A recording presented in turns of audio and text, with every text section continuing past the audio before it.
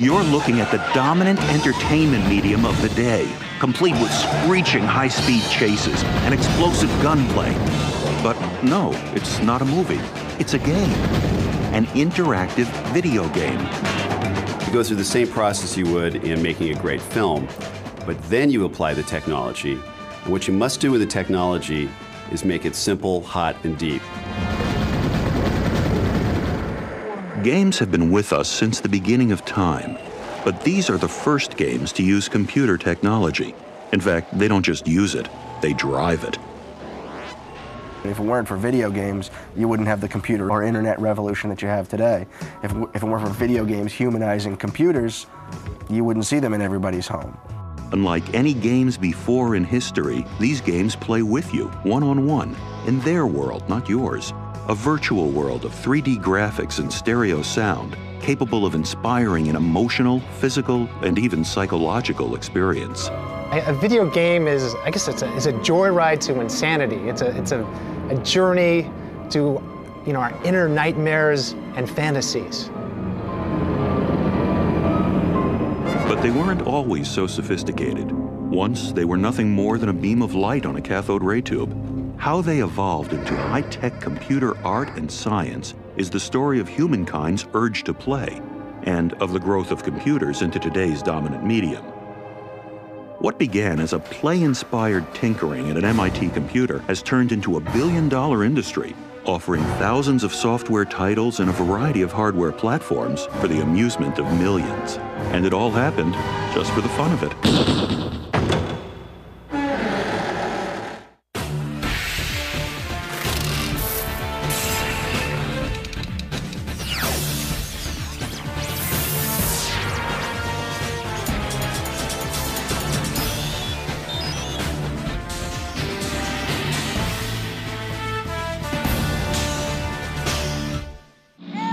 In living rooms across the United States, the youth of America and the young at heart are playing games, video games.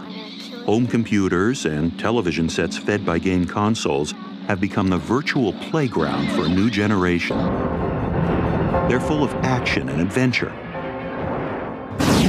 battles between good and evil, quests and cyber shootouts, and all kinds of races and sports contests. For many, this is a world so much bigger in scope and richer in possibilities that there's no better place to play. What did I get? The game space becomes a virtual play space. It becomes an environment they can do the things that boys used to do in their imagination, sitting in their backyard in suburban America. They can take risks, they can take challenges, they can compete with each other. They can have larger than life blood and thunder adventure that really gets the blood pumping.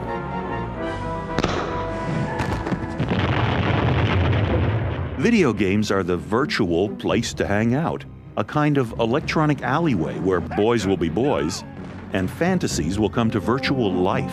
Are you in love with her? Love? Love is for the living, Sal. I'm only after her for one reason. She's my ticket out of here. You are there, you are inside, you are making decisions, you are seeing the results of what you are doing, you're having a fantasy and a spectacular experience for all their fantasy, video games duplicate reality in exacting detail. Just how they do that is a marvel of several different technologies that have emerged since the birth of video games in the early 60s. One of the most essential is something called texture mapping. It turns the game into a three-dimensional, photorealistic, immersive experience.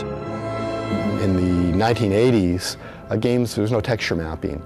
And when you created a, uh, an object, if you had a spacecraft, it would just be plain. There wouldn't be any detail or, or on, on, the surfaces. We went to some of the MIT, uh, one of the MIT tech libraries, and saw that on high-end supercomputers and graphic workstations, they were doing texture mapping. And uh, we did some trials to see whether we could do that on a PC at the time, this is 1990, found out yes, it would actually work. When the Trade Federation Viceroy arrives, we must convince him to leave the system. Be prepared for the unexpected. The room is filling with poison gas. Texture mapping adds photorealism to a game. It's eye-catching and beautiful. It offers the look and feel of real worlds. It grew out of the development of more powerful computer microprocessors and advanced games beyond monochrome images. You can take a texture and instead of putting it on the cube, you're putting it on a you know more rounded sphere that maybe has a nose and you know some some other details of the shape, and then the textures can be much more detailed. And all of a sudden, you have this very real-looking character, or real-looking desk, or real-looking chandelier, and um, it's really incredible. And then once it's in the engine, and it has all its motions put on it and it has its sound. It's really very immersive. All of a sudden you're walking and talking to this person that, you know, was just a cube. a computer simulated game takes an average of 24 months of full-time work from a staff of 20. There are thousands of details, and at times things go wrong, as they did in the texture mapping of a torpedo attack sequence for a combat simulation game torpedoes are dropping, they're hitting the water, right?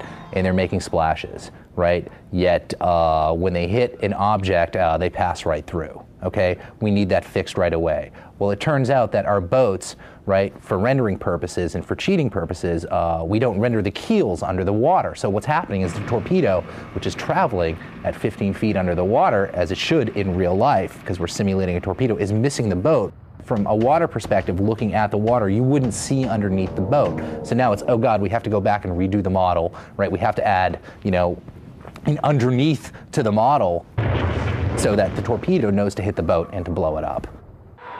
When it's done, the game's environments are so real, there's no need to suspend disbelief. It looks like the real thing. But not only have the game environments reached a level of reality, so have the movement of game characters, because of another technology called motion capture. It's the ultimate realization of a technique used by Walt Disney to help animators draw Snow White. Motion capture reached a new height with video games in the 90s. Motion capture electronically copies a movement, like Tiger Woods driving a golf ball, and turns it into a computer image. Wired from head to toe, every movement of a desired action, every turn and twist of a body, every arm and leg in motion is accurately copied. An earlier generation of games relied on an artist's interpretation and rendition of the body's movement. But motion capture makes every movement real, from a sword stroke to a slap shot or a slam dunk. Ewing with a dunk. He makes the catch. Added to image is the dimension of sound. The reality created in the games of today is done with voices, music, and sound effects that rival the quality of a Hollywood movie. Oh my! Sound studios and star voices punctuate the games. It'd be a hell of a lot easier to get the crash site. If today's games look, feel, and sound like major motion pictures, the very first computer game resembled a low-budget sci-fi movie. The game was called Space War. It was developed in 1962 at MIT by a graduate student named Steve Russell. Space War had only two factors in common with today's games. First, it shot something, and second, it was played on a computer. But what a computer.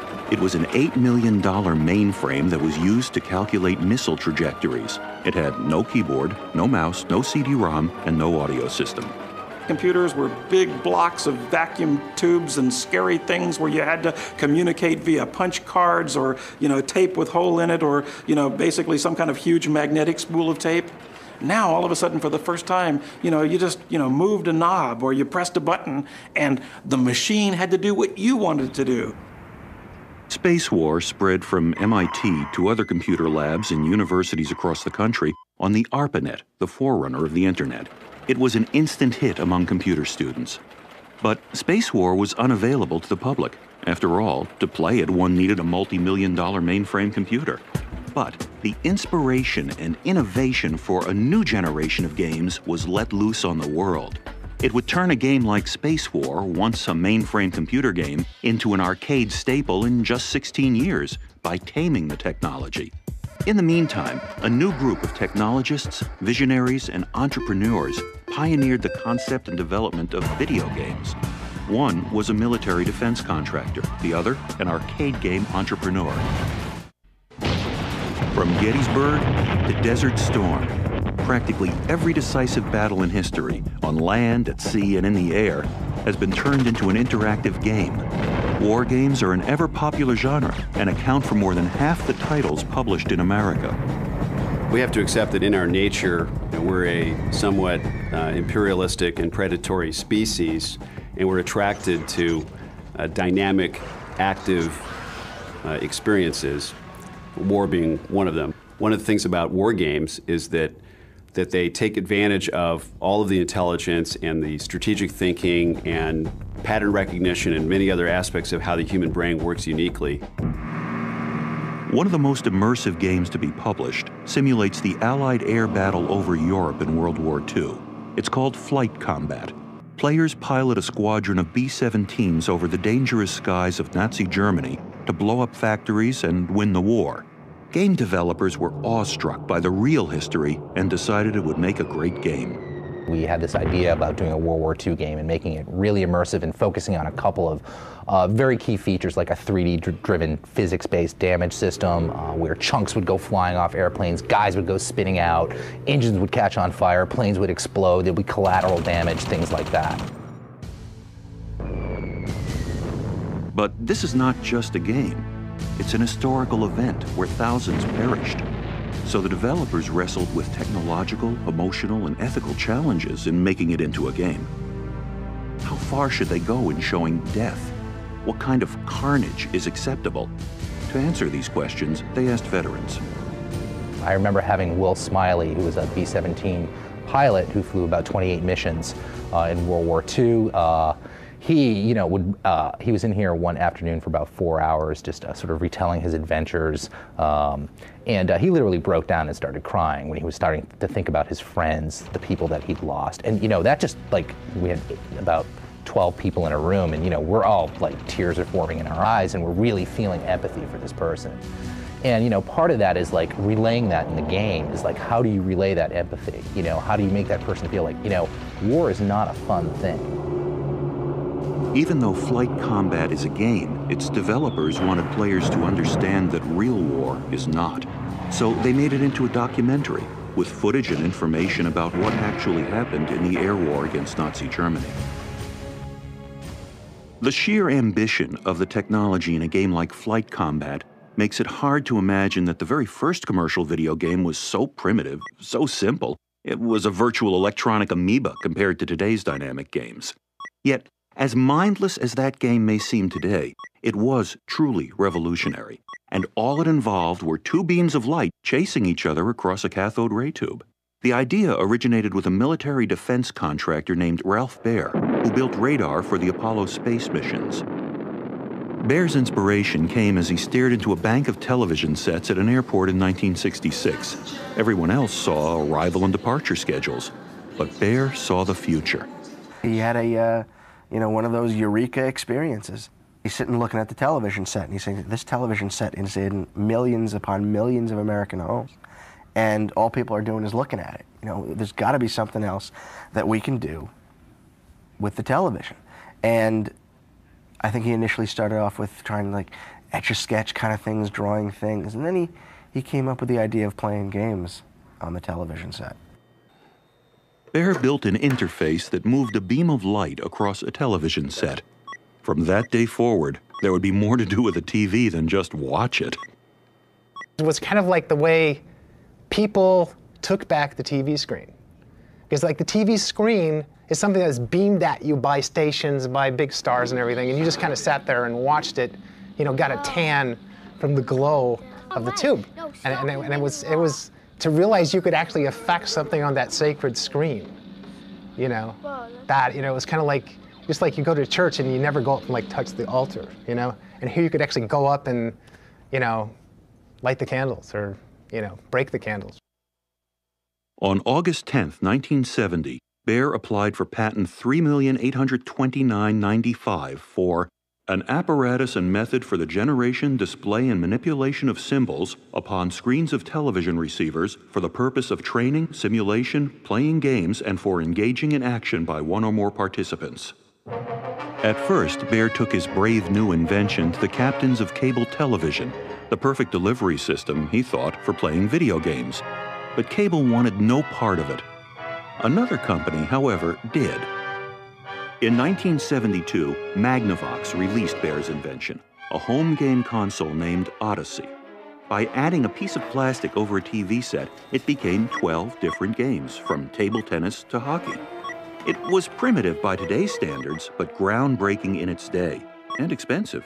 The system cost $100. Odyssey, the world's first home video game, was a moderate success.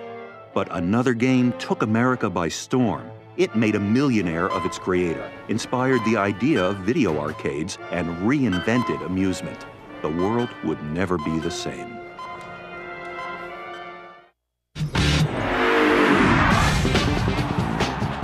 When it comes to games played at arcades or at home on PCs or consoles, sports themes are a perennial favorite.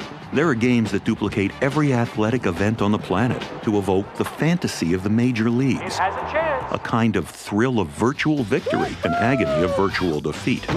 The sports, I think, in one sense, they're a metaphor for war but they're also a metaphor for heroism in that it creates a context in which it's socially acceptable to stand out from your peers and to achieve great things, and even to the point of having a crowd around you that's going to cheer at the moment when you do it.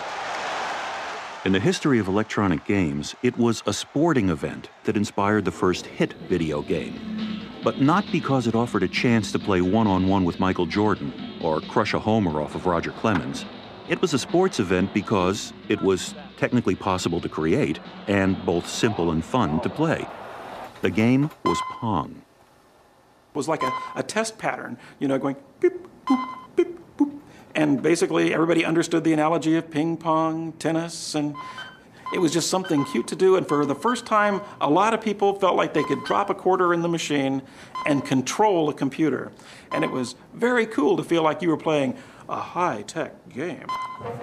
Pong was not a home game like the ones introduced by Ralph Baer the same year. Pong was a five-foot console built for arcades.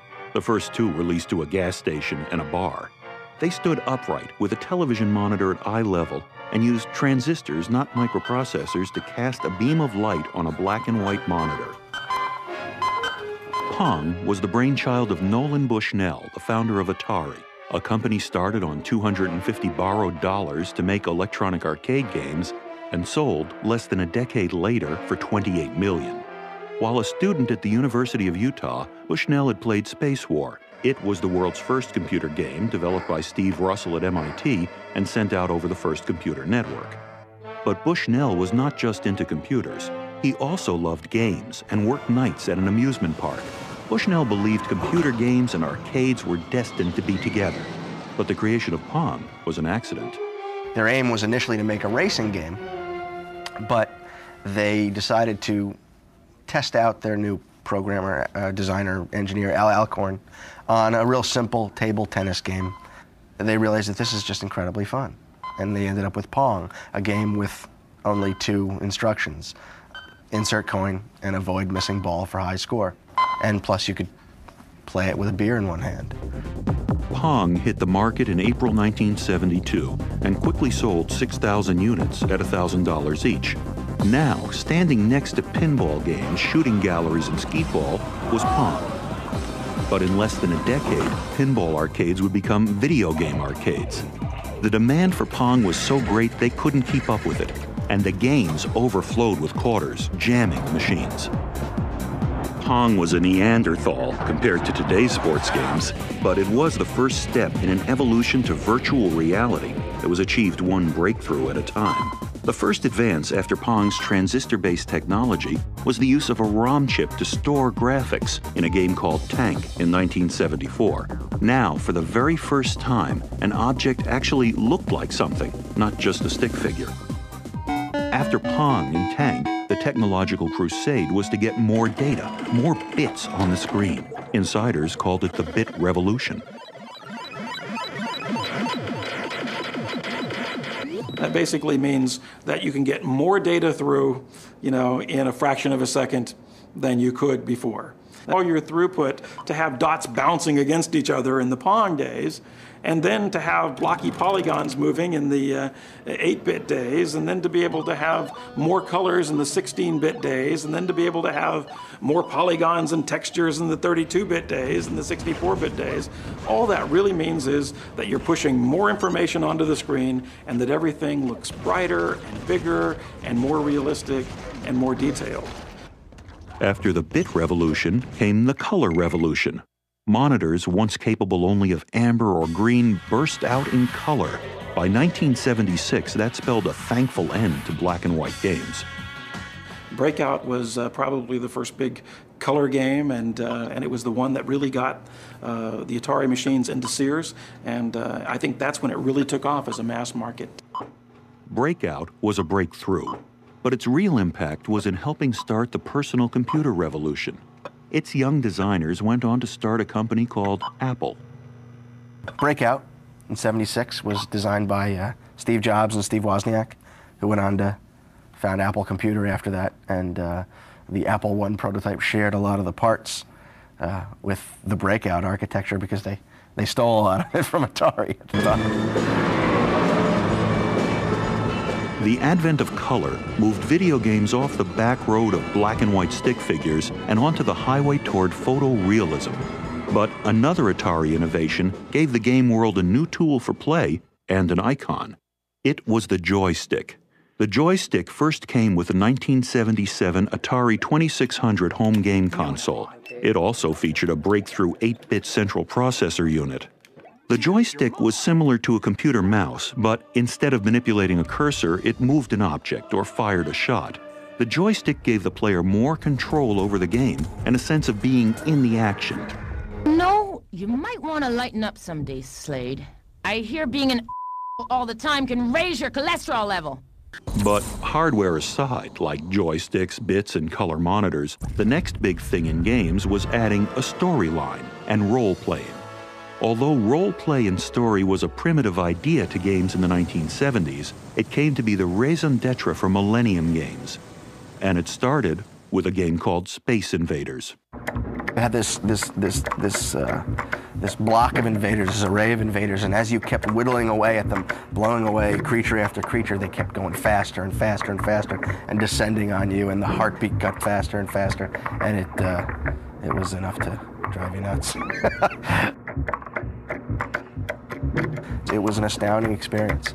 You were you were for the very first time somewhere else fighting something else, and it was it was life and death. It really really was an amazing experience. Space Invaders was so popular, it caused a coin shortage in Japan and truancy in America. It also changed how people thought about electronic games. Space Invaders it started this whole, to me, the whole genre of artificial intelligence because you had an enemy, first game that, that actually had computer enemies on the screen that had their own little life, had their own objectives, had their own goals. And it was kind of you, either you would survive or they would survive. And, and to me, that was just, it was just like this incredible struggle, which always, you know, ended in your defeat. You know, but, it, but, it, but for some reason you had to keep struggling against it. Space Invaders was so popular, it turned arcades into the new dens of iniquity for teenagers. Even though home consoles offered many of the same titles, they didn't have the same high tech performance. Arcade games were bigger, more powerful, and louder. They were packed with thousands of dollars of technology, paid for by millions of kids, pumping billions of quarters into the video slots to take on aliens. But soon they sparked an international outcry that dubbed them the electronic drug. In the Philippines, Ferdinand Marcos banned them. In America, city councils enacted curfews to make children come home. The Surgeon General, C. Everett Koop, who ordered warning labels on cigarettes, said video games produced aberrations in childhood behavior, causing users to be addicted body and soul. Even the Journal of American Medicine announced that video game play damaged wrists and hands over time. But nothing kept the kids from playing. Oh, there's a flying saucer. Kids are naturally drawn toward things that shock and offend adults. I think what we're afraid of about these games is that they bring to the surface dark sides of our children, aggressive sides of our children, and children's sexual fantasies. We don't like to accept that children have any of those things. Loved or loathed, more games followed in new genres, like Lunar Lander, the first flight simulation game. Then Asteroids, the last great black and white two dimensional game.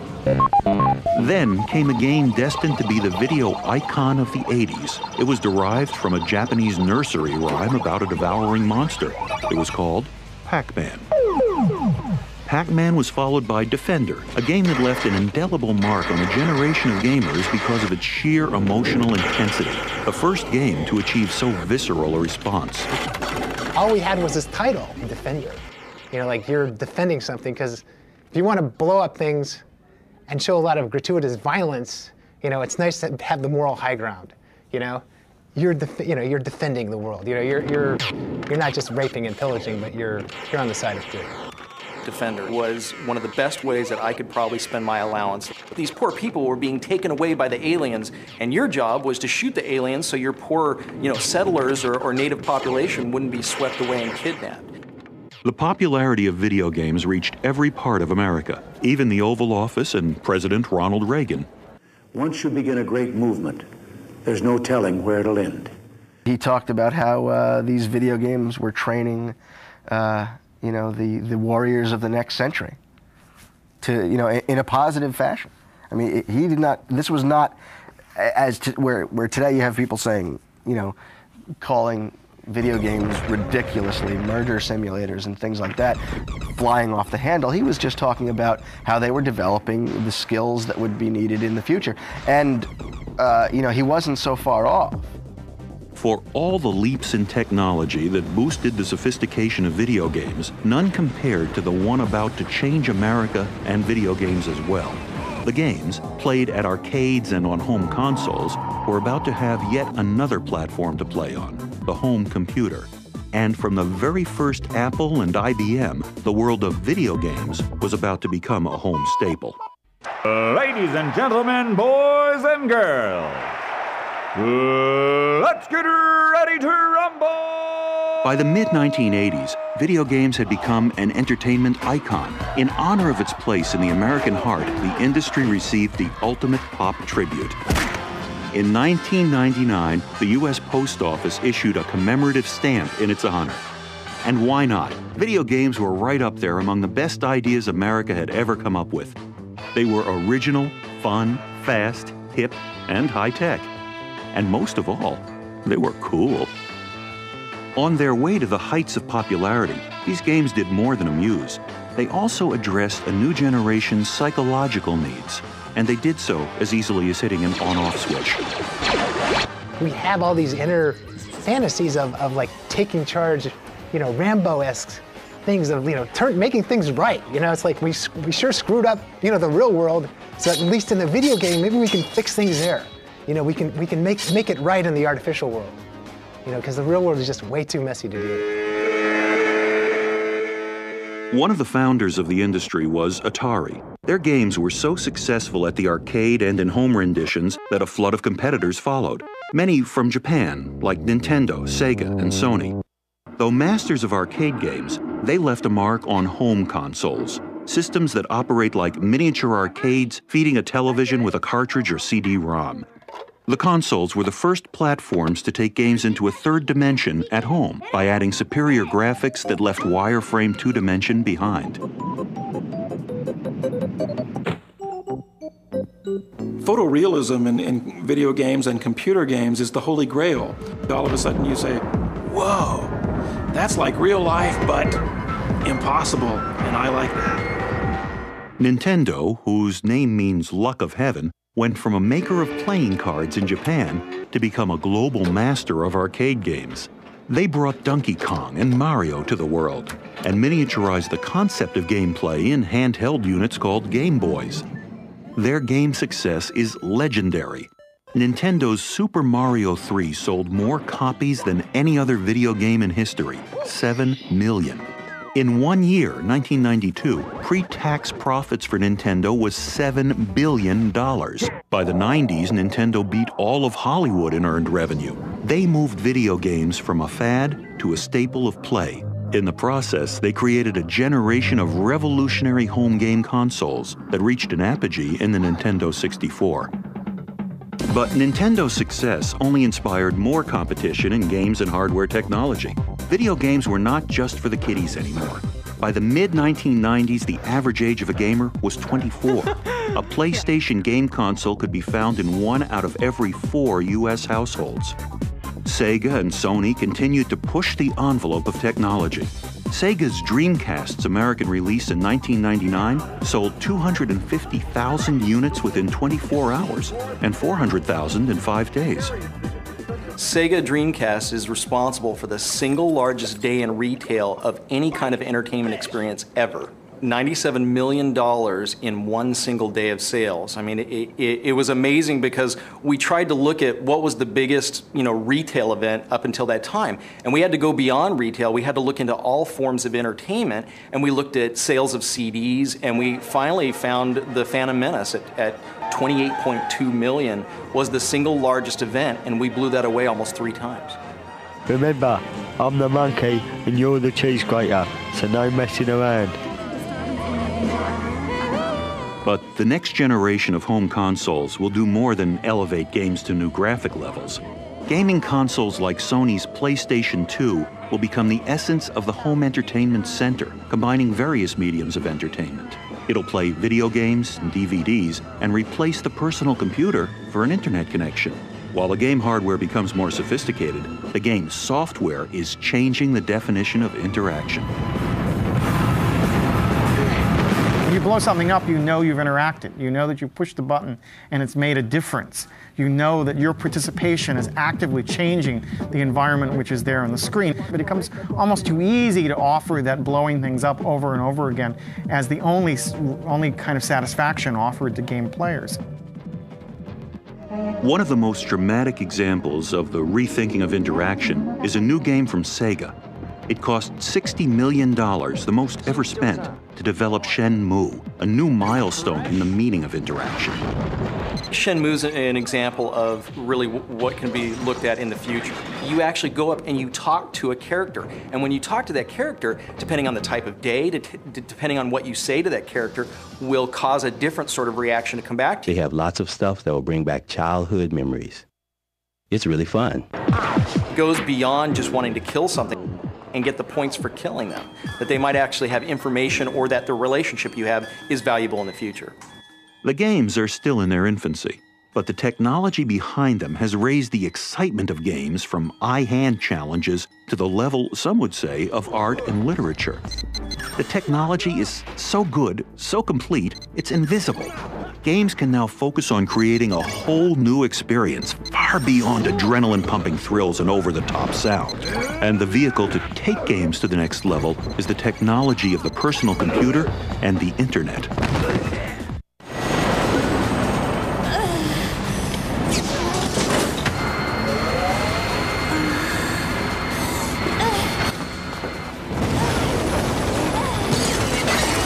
Electronic games were born amid the computer revolution of the 1960s. By 1981, when two former Atari game developers started Apple, games were added to the world's first personal computer. IBM followed suit a year later, going so far as to add a joystick to their PC. What no one imagined was that computers would advance the development of games at warp speed and become one of the most important platforms to play them on getting more sophisticated with every breakthrough in technology from microprocessors to memory.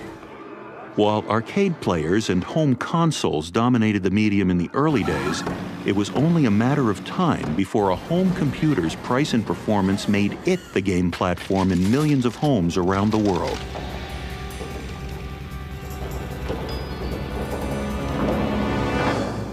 Video games brought computers into the culture. It, it, uh, they brought computers into the home. And I mean, you know, hey, do you need 16.7 million colors on your desktop to do a spreadsheet? Do you need 32-bit stereo sound for word processing? No, absolutely not. You need them for video games, and that's what people buy computers for.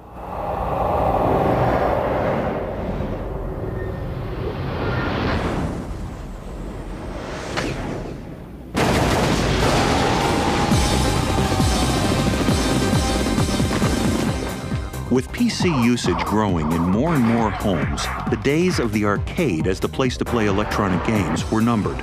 Instead of feeding quarters into a video slot, kids were urging their parents to buy a family computer, but with all the power possible to drive a hot new 3D graphic game. The computer is the medium of doing, and people learn by doing, and we love to play, and it's just it's just a perfect fit. At first, computer games were copies or extensions of arcade and console games. This is my ship. But by the mid 90s, they began to find their own unique distinction as games. Central to their identity was an emphasis on more mature tastes. Will you dedicate yourself to our survival? The early games, quite frankly, were just uh, classic hack and slash, uh, you know, generic uh, swords and sorcery. But over time, I began to get feedback that you might consider things like fan mail, uh, or I began to see the impact that these games were having on you know young people around the world. And I personalized that to saying that, uh, uh, you know, with this opportunity to speak to the masses came a responsibility to ensure that the content that they were participating in was content that had a net positive effect. Far from the days of a beam of light ricocheting off rackets, computer and video games have advanced into complex storylines, complete with heroes, villains, plots, scenes, and settings, anywhere from the portals of hell to the tombs of Egypt. The computer game is now a medium for stories. We're at the threshold of a new era of storytelling. One can imagine the future, we look back and we're talking about the cyber bards, that is, the storytellers who have grabbed hold of the potentials of an immersive media technology and really begun to explore how one can use that to tell stories. We're at, a, we're at a baby stage, but down the line we may see it as an exciting and dynamic a form as cinema itself. We want to develop a game that engages and challenges and inspires, but most important, inspires. And why, what do we mean by that? That means that it's not only inspires you to keep playing, but inspires you to want to know more about it, want to, want to be more immersed in the characters, uh, be, be more uh, sympathetic to them so that when they hurt, you hurt. Um, that becomes very important. It's, it's, it's, it's really finding a way to connect the player with, with that, that main character, with the game, uh, so that you know, they feel each other's pain. If you haven't bagged a premium before the next sales report comes in, you're out! Guess they couldn't save me, huh? No, but there's still a chance you could save me. Hollywood has flocked to computer games as a new creative storytelling outlet, attracting some of the biggest names in film. Steven Spielberg turned the epic blockbuster Saving Private Ryan into the game Medal of Honor. Tom Clancy was behind Rainbow Six and Rogue Spear. And the granddaddy of science fiction and movie myth, George Lucas, has an entire company at work making games. While home computers have shaped games into stories, the advent of the internet and online gameplay have turned games into a kind of parallel universe where people not only play games, they explore aspects of themselves, a kind of exercise in conscious living free from the stresses of the real world. One of the most popular online games is the Ultima series. It's a medieval fantasy world. But more than a game, it's a community. The game connects people around the globe drawn to a similar game culture and experience. Unlike other games that involve amassing a body count, this emphasizes character and ethics, parts of the game that have made it a bestseller. I began to create a game where you had to prove yourself to be a person of good virtue in order to win the game, not just overcome the obstacles. People knew whenever they played a Lord British game that they were going to be immersed in the world of Britannia, and they knew that they were going to face things that they had never faced before. Because everything that you did, every person that you killed, every item that you stole, you know, worked against your karma, if you will. And basically, you had to, to work on being the balanced avatar. You not only had to save the world, but you had to, to save yourself. My lord, the Avatar has arrived in Britannia and has been easily dispatched by my worm guard. Do not be so sure. The meddlesome champion of virtue is not so easily defeated. With the advent of the internet, now we finally have the ability for, the, for people to sit in their own homes, connect together via the internet, so that everyone who plays this game is simultaneously connected together At any point in time, up to 200,000 people around the world are online playing Ultima. The game is updated and changed online when a new version is ready, so there are no obstacles or costs associated with packaging or shipping. Like a utility bill for water or electricity, players pay a monthly fee to enter a virtual world where there are permanent consequences, a world that never ends, and a game that is never over. What you do here lasts your entire virtual lifetime. The game has taken off beyond the wildest imagination of its creator and now includes people paying real money to buy virtual real estate. But the most significant difference about this game is its ability to teach players the value of ethical behavior. In a persistent virtual world, whatever you do is now instantly and forever part of the permanent history of that virtual world. And so, therefore, uh, the ramification of your deeds is much more important. You can't flippantly uh, do something that you might otherwise consider unethical or poor behavior. Because that deed, just like in the real world, will follow you continuously for the rest of your virtual life.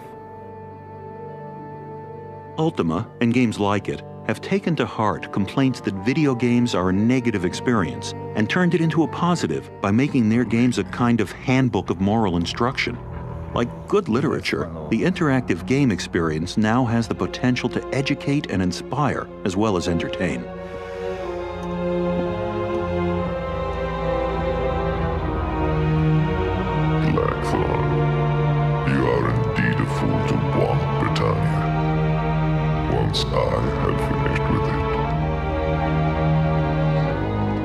Video games will never be as essential as food, clothing, or shelter, but they have become a multi billion dollar industry by providing the space for adolescents and adults to dream, to fantasize, and to experience a kind of mastery not wholly available in the real world. And most of all, for all the genius of technology and sophistication of art and science, the end result is to tell a good story.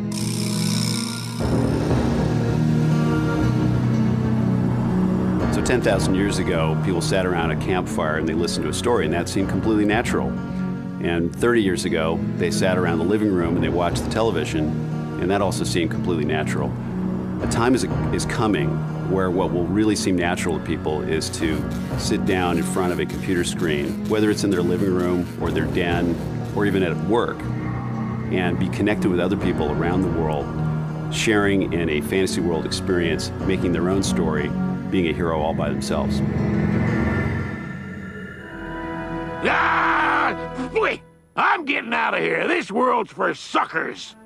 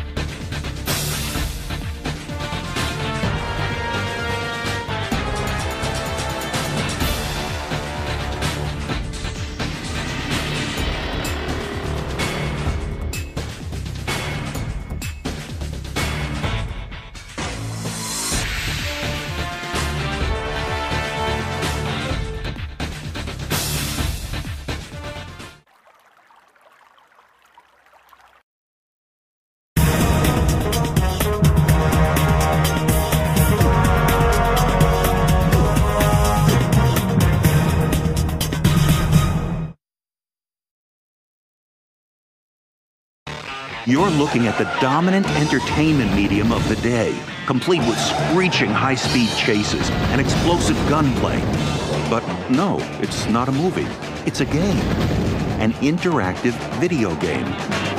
You go through the same process you would in making a great film, but then you apply the technology. And what you must do with the technology is make it simple, hot, and deep. Games have been with us since the beginning of time, but these are the first games to use computer technology. In fact, they don't just use it, they drive it. If it weren't for video games, you wouldn't have the computer or internet revolution that you have today. If, if it weren't for video games humanizing computers, you wouldn't see them in everybody's home. Unlike any games before in history, these games play with you, one on one, in their world, not yours. A virtual world of 3D graphics and stereo sound, capable of inspiring an emotional, physical, and even psychological experience. A video game is, I guess it's a, it's a joyride to insanity. It's a, it's a, a journey to, you know, our inner nightmares and fantasies. But they weren't always so sophisticated. Once, they were nothing more than a beam of light on a cathode ray tube. How they evolved into high-tech computer art and science is the story of humankind's urge to play, and of the growth of computers into today's dominant medium.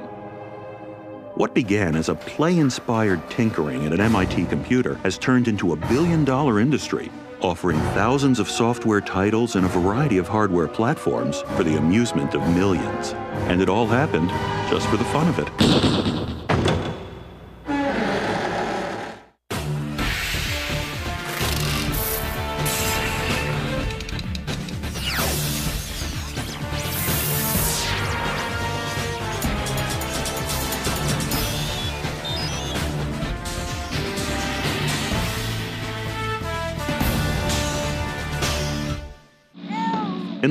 Across the United States, the youth of America and the young at heart are playing games, video games.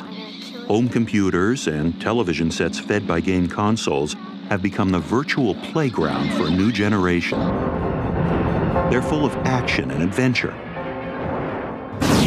battles between good and evil, quests and cyber shootouts, and all kinds of races and sports contests.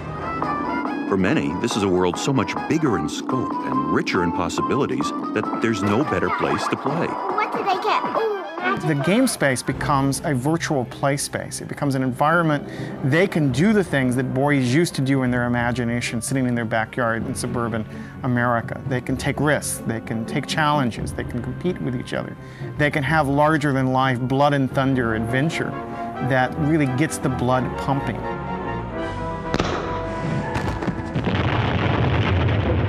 Video games are the virtual place to hang out, a kind of electronic alleyway where boys will be boys and fantasies will come to virtual life.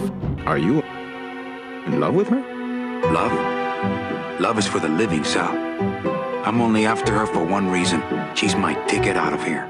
You are there, you are inside, you are making decisions, you are seeing the results of what you are doing, you're having a fantasy and a spectacular experience. For all their fantasy, video games duplicate reality in exacting detail. Just how they do that is a marvel of several different technologies that have emerged since the birth of video games in the early 60s. One of the most essential is something called texture mapping. It turns the game into a three-dimensional, photorealistic, immersive experience. In the 1980s, uh, games, there was no texture mapping. And when you created a, uh, an object, if you had a spacecraft, it would just be plain. There wouldn't be any detail or, or on, on, the surfaces. We went to some of the MIT, uh, one of the MIT tech libraries, and saw that on high-end supercomputers and graphic workstations, they were doing texture mapping. And uh, we did some trials to see whether we could do that on a PC at the time, this is 1990, found out yes, it would actually work. When the Trade Federation Viceroy arrives, we must convince him to leave the system.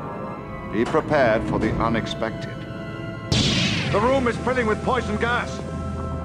Texture mapping adds photorealism to a game. It's eye-catching and beautiful. It offers the look and feel of real worlds. It grew out of the development of more powerful computer microprocessors and advanced games beyond monochrome images. You can take a texture and instead of putting it on the cube, you're putting it on a you know more rounded sphere that maybe has a nose and you know some some other details of the shape, and then the textures can be much more detailed. And all of a sudden you have this very real looking character or real looking desk or real looking chandelier. And um, it's really incredible.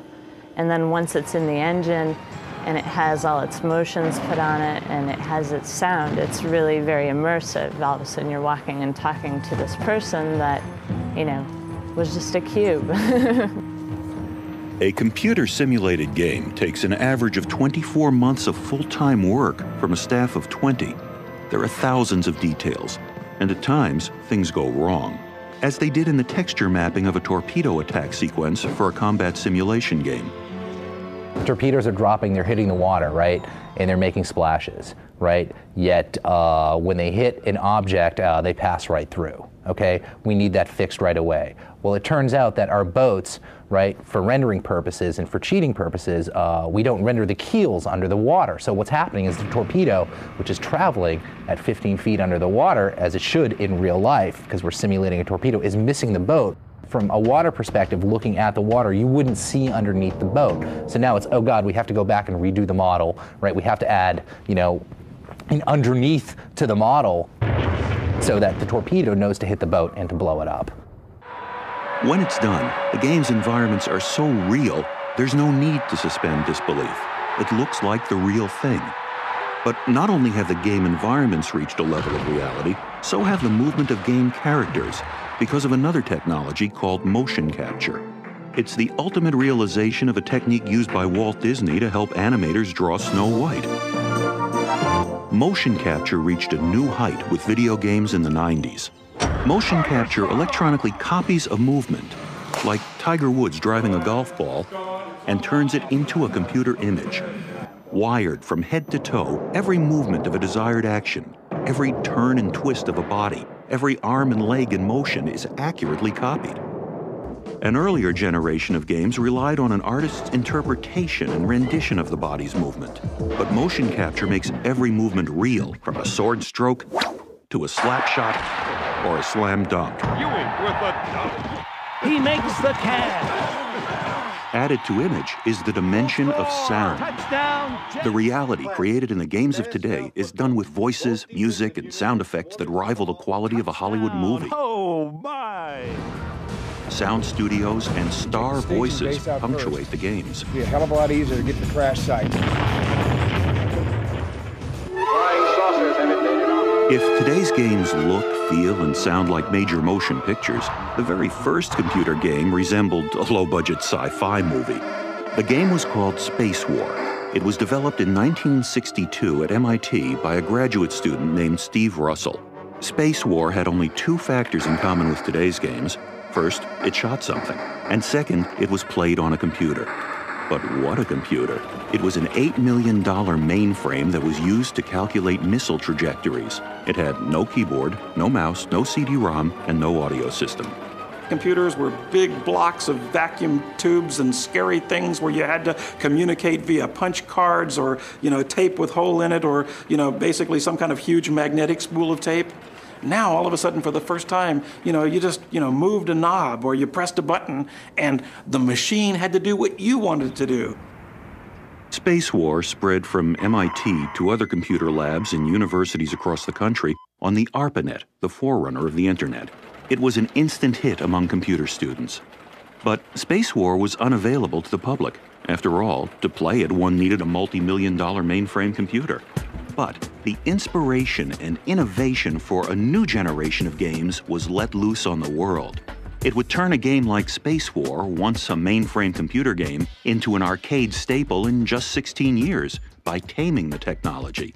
In the meantime, a new group of technologists, visionaries, and entrepreneurs pioneered the concept and development of video games. One was a military defense contractor, the other, an arcade game entrepreneur. From Gettysburg to Desert Storm, practically every decisive battle in history, on land, at sea, and in the air, has been turned into an interactive game. War games are an ever popular genre and account for more than half the titles published in America.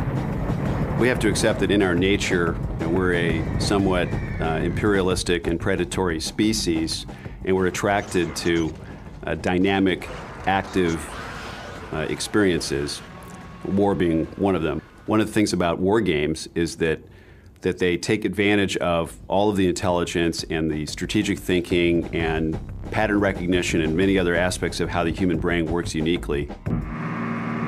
One of the most immersive games to be published simulates the Allied air battle over Europe in World War II. It's called flight combat. Players pilot a squadron of B 17s over the dangerous skies of Nazi Germany to blow up factories and win the war. Game developers were awestruck by the real history and decided it would make a great game. We had this idea about doing a World War II game and making it really immersive and focusing on a couple of uh, very key features like a 3D driven physics based damage system uh, where chunks would go flying off airplanes, guys would go spinning out, engines would catch on fire, planes would explode, there'd be collateral damage, things like that. But this is not just a game. It's an historical event where thousands perished. So the developers wrestled with technological, emotional, and ethical challenges in making it into a game. How far should they go in showing death? What kind of carnage is acceptable? To answer these questions, they asked veterans. I remember having Will Smiley, who was a B 17 pilot who flew about 28 missions uh, in World War II. Uh, he, you know, would uh, he was in here one afternoon for about four hours, just uh, sort of retelling his adventures, um, and uh, he literally broke down and started crying when he was starting to think about his friends, the people that he'd lost, and you know, that just like we had about 12 people in a room, and you know, we're all like tears are forming in our eyes, and we're really feeling empathy for this person.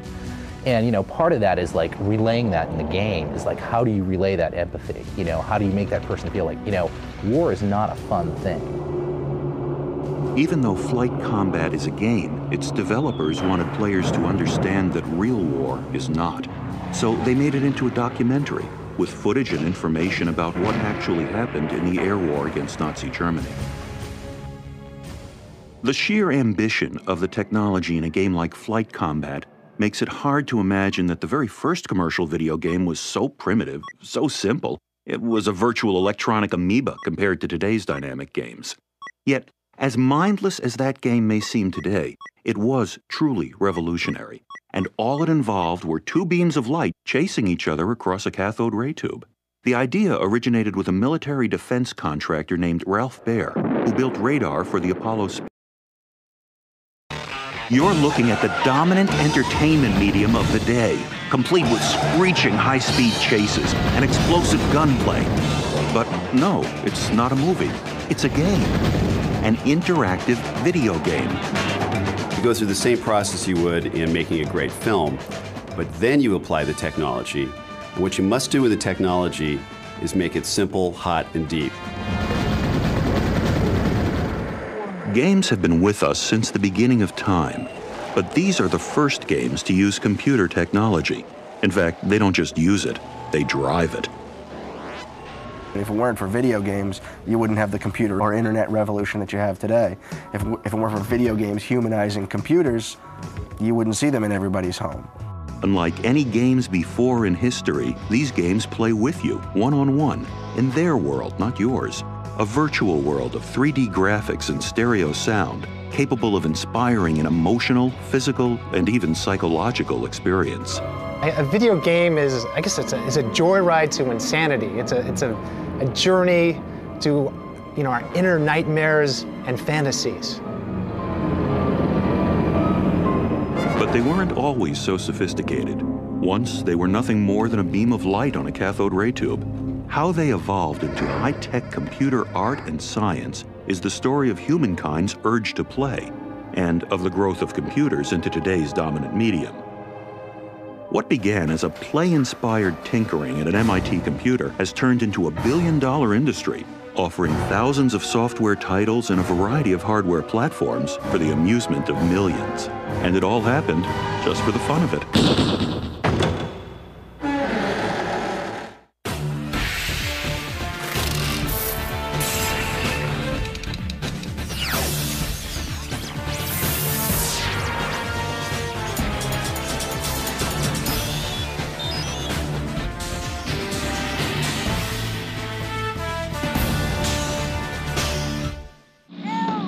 living rooms across the United States, the youth of America and the young at heart are playing games, video games.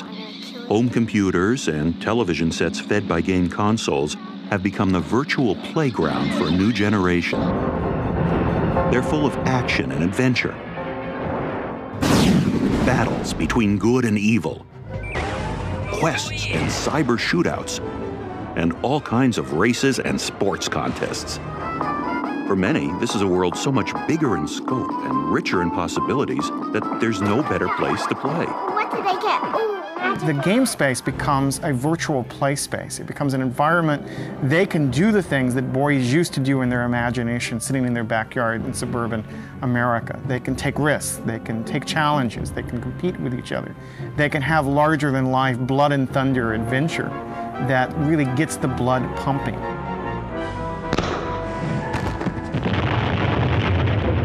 Video games are the virtual place to hang out, a kind of electronic alleyway where boys will be boys and fantasies will come to virtual life. Are you in love with her? Love? Love is for the living, Sal. I'm only after her for one reason. She's my ticket out of here. You are there, you are inside, you are making decisions, you are seeing the results of what you are doing, you're having a fantasy and a spectacular experience. For all their fantasy, video games duplicate reality in exacting detail. Just how they do that is a marvel of several different technologies that have emerged since the birth of video games in the early 60s. One of the most essential is something called texture mapping. It turns the game into a three dimensional, photorealistic, immersive experience. In the 1980s, uh, games, there was no texture mapping. And when you created a, uh, an object, if you had a spacecraft, it would just be plain. There wouldn't be any detail or, or on, on, the surfaces. We went to some of the MIT, uh, one of the MIT tech libraries, and saw that on the high-end supercomputers and graphic workstations, they were doing texture mapping. And uh, we did some trials to see whether we could do that on a PC at the time, this is 1990, found out yes, it would actually work. When the Trade Federation Viceroy arrives, we must convince him to leave the system. Be prepared for the unexpected. The room is filling with poison gas. Texture mapping adds photorealism to a game. It's eye-catching and beautiful. It offers the look and feel of real worlds. It grew out of the development of more powerful computer microprocessors and advanced games beyond monochrome images. You can take a texture and instead of putting it on the cube, you're putting it on a you know more rounded sphere that maybe has a nose and you know some some other details of the shape, and then the textures can be much more detailed. And all of a sudden, you have this very real-looking character or real looking desk or real looking chandelier. And um, it's really incredible. And then once it's in the engine,